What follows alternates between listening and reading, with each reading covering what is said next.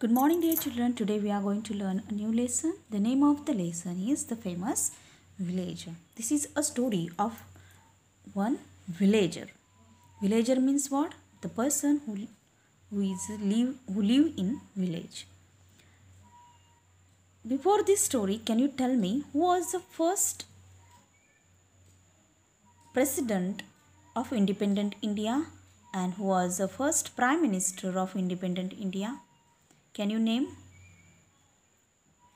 The first prime minister of independent India uh, was Jawaharlal Nehru and the first president of independent India was Dr. Rajendra Prasad. And this is the story about the doc- about Dr. Rajendra Prasad. You can see in this picture this person who is standing in front of the officer is the Dr. Rajendra Prasad. And this story about this villager. You know that Dr. Rajendra Prasad was the first president of India. He was a man of great intelligence. Intelligence means what? The ability to learn, understand, and put the knowledge into practice. This man was very intelligent person, but he led a simple life. Led is the past form of the verb lead. He paid little attention to his appearance and was shy in nature. Shy means Lazaro. Appearance means what? The way we, the way one looks or the way we look. Always we try to judge the persons through his appearance. If the person dressed well, we think that maybe that person is well educated, officer or something like that we think. Through this appearance, what can you say? This person wearing Gandhi topi, cotton dhoti and kurta.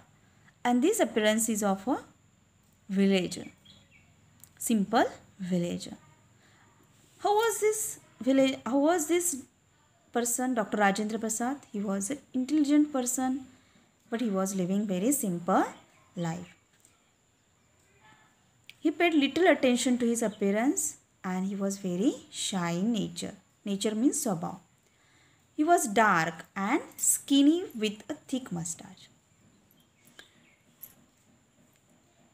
He was skinny means thin person and having thick mustache. Thick mustache means misha. Dr. Prasad was well known as a national leader much before India became independent. He was a great national leader. And this is a story of this great national leader. And this story tells us about simple living and high thinking. Once, this person, Dr. Rajendra Prasad, was travel traveling by train to a remote town. Remote town means far away town, far away place. It was 8 o'clock. It was night time. In the night when he got off at the station, it was wearing a cotton dhoti, kurta and Gandhi cap. In this dress, he looked like an ordinary village. Just we had seen in this picture how that Dr. Rajendra Prasad was looking an ordinary. It was a time of 8 o'clock at night when he got off the station and what uh, was his uh, dress? He dressed cotton, dhoti, kurta and Gandhi cap. And this dress, in this dress he was looking very ordinary villager. Ordinary means samanya khedut in Marathi it said. Okay. The platform was deserted. Deserted means there was no one on the platform. Very few people were there on the platform. Dr. Prasad lodged his rolled quilt in the crook of his arm and walked to the station master's office. With the great politeness, he asked the station master, Could I make a telephone call? It's an important matter. In this picture, you can see this is a quilt. What it is? Quilt means a thick and warm bed covering. This is a roll of a quilt. In the crook, in the crook of his arm. Crook of his arm means the bend in the arm. He took this roll of a quilt in his arm and he is talking with the station master. This person is a station master. And lodge means fixed. He fixed his quilt in his arm and he po politely requested to this station master, could I make a telephone call?